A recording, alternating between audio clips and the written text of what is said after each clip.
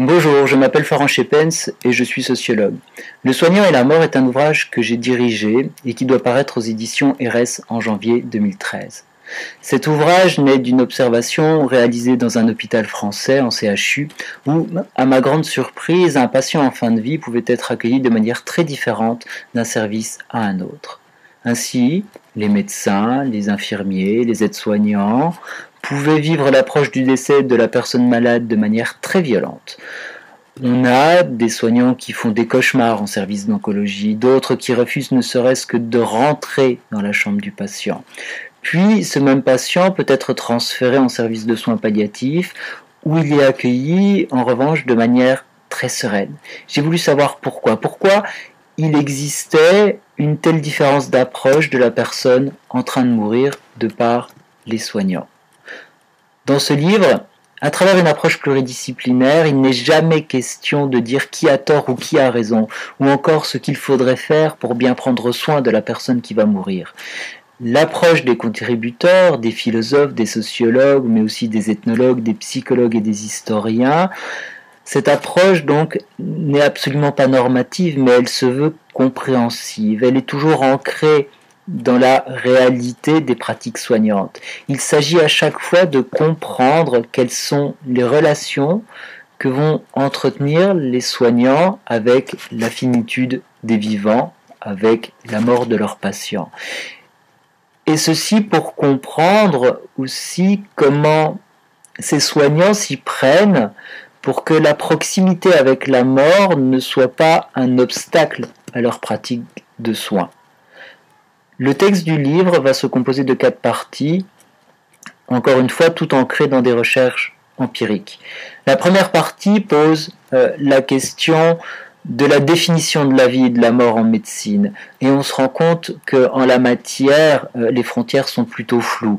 Plutôt floues à l'image de ces euh, patients qui sont, d'après les soignants, définis comme étant des personnes ni mortes ni vivantes. Et ces patients sont euh, des patients en état végétatif chronique. La deuxième partie, elle, va s'intéresser au travail sur le corps, voire au travail à l'intérieur du corps. Faire une incision avec un scalpel n'a strictement rien d'évident. Ça n'a rien d'évident tant par le geste technique qu'il faut bien évidemment apprendre, mais ça n'a rien d'évident non plus dans le fait qu'il faut accepter de faire ça à un autre être humain. Et suite à un accident, suite à une mort sur table, comme disent les chirurgiens, comment celui-ci arrive-t-il à opérer à nouveau? La troisième partie du livre pose la question de la relation, de la relation comme pratique soignante. Comment entrer en contact avec celui qui va mourir? Comment résister à la peine quand on est médecin généraliste, médecin de famille et que l'on doit accompagner vers la mort un de ses patients que l'on a pu suivre durant euh, toute son existence. La dernière partie du livre va s'intéresser euh, aux stratégies, aux techniques des soignants, aux techniques que mettent en place les professionnels du soin pour accepter la mort des patients et continuer à prendre soin de leurs autres patients. Et pour terminer, euh, nous avons souhaité donner la parole euh, aux médecins pour savoir ce qu'ils euh, pensaient de la collaboration possible entre sciences humaines et médecine. L'originalité de cet ouvrage, à mon avis, est qu'il se centre euh, réellement sur les professionnels, sur les professionnels du soin, qui en général sont toujours euh, les grands oubliés des questions de fin de vie. La société pose légitimement la question euh, de l'euthanasie, mais sans jamais se demander quelles conséquences ces euthanasies peuvent avoir sur ceux qui les mettraient, sur ceux qui les mettent en pratique.